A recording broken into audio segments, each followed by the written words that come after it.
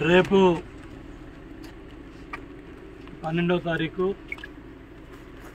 మధ్యాహ్నం నాలుగు గంటలకి చాట్రాయ్ చీపురుగూడి వద్ద తమిళేరు ఎక్కడేట్ చూడటానికి అటు నుజువీడ్ నియోజకవర్గం నుంచి తిరువూరు నియోజకవర్గం నుంచి నందిగాం నియోజకవర్గం నుంచి మైలవరం నియోజకవర్గం నుంచి రైతు సోదరులంతా కూడా చింతలపూడి గోదావరి నీళ్ళు మన ప్రాంతానికి రావాలంటే గోదావరి తల్లి నీళ్ళు ఈ ప్రాంతం నడవాలంటే ఆ చింతలపూడి ఎత్తిపోతల పథకం పనులు పూర్తవ్వాలి. సుమారు ఐదు వేల కోట్లు చంద్రబాబు నాయుడు గారు మరి ఆ నిధులు మంజూరు చేస్తే ఇప్పుడు దాకా దగ్గర దగ్గర నాలుగు వేల కోట్లు ఖర్చు చేయబడి ఉన్న చింతలపూడి ఎత్తిపోతల పథకం గాలికి వదిలేశారు.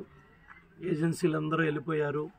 అక్కడ ఉన్న ఐరన్ ఎత్తుకుపోయారు సిమెంట్ ఎత్తుకుపోయారు స్టీల్ ఎత్తుకుపోయారు ఇసుక ఎత్తుకుపోయారు. మొత్తం పనులన్నీ కూడా గాలి కుదిలి వస్తున్నాయి. కాబట్టి రైతు సోదరులందరం కూడా ఒక్కసారి అక్యుడేట్ ఆ కాలువలు చూసుకుంటే ఎంత నష్టం జరిగిందో మన చింతలపూడి వెళ్ళి కూడా నేను చూపించాను అక్కడ.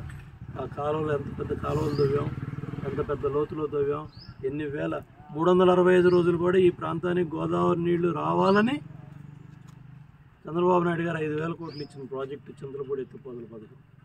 దాంట్లో వాళ్ళకి నాలుగు వేల కోట్లు ఖర్చు పెట్టబడి ఉన్నాయి. నిర్లక్ష్యం చేయబడి ఉంది. గాలికి వదిలేశారు కాబట్టి దాన్ని మళ్ళీ గాడి గాడిలో పెట్టాలి.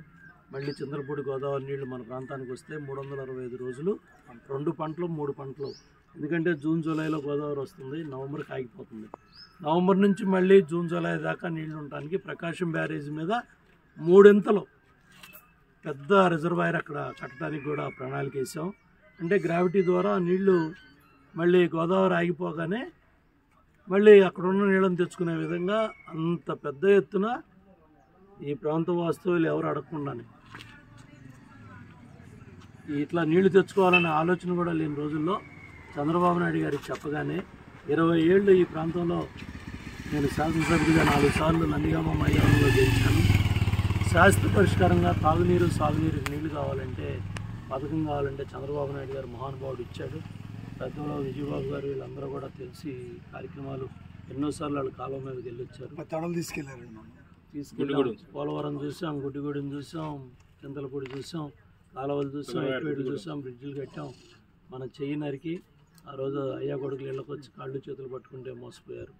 మళ్ళీ మోసపోకుండా మళ్ళీ మీకు దొంగలంతా కూడా మళ్ళీ ఆరు నెలలు చేరి కులాలు రెచ్చగొడతారు మతాలు రెచ్చగొడతారు ప్రాంతాలు రెచ్చగొడతారు.